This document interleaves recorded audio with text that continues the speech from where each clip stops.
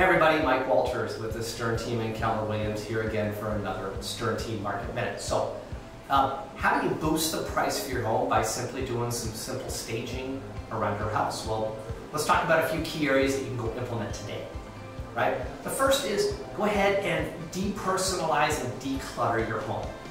You see, in a buyer's eyes, when we do that, they tend to have a little bit more imagination in seeing your home as their future home. Okay. The second piece is go ahead and highlight key areas of your home. Right. So if you've got a beautiful kitchen that's got an open concept, or maybe you've got a front room that's got wall or uh, sorry ceiling to floor windows with breathtaking views, go ahead and highlight that. Right. Put furniture in there that makes it look like that would be a space for somebody to go sit down and really enjoy that space. Okay. The last is make your home feel warm and inviting.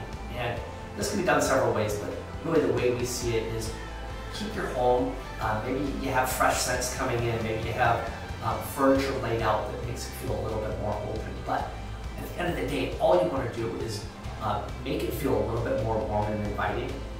So if you have questions, or if you've got a process right now where you don't feel like your home is ready to, to sell and you're looking to and you want help staging, go ahead and give us a call or email us because we'd love to help you get the most for your home.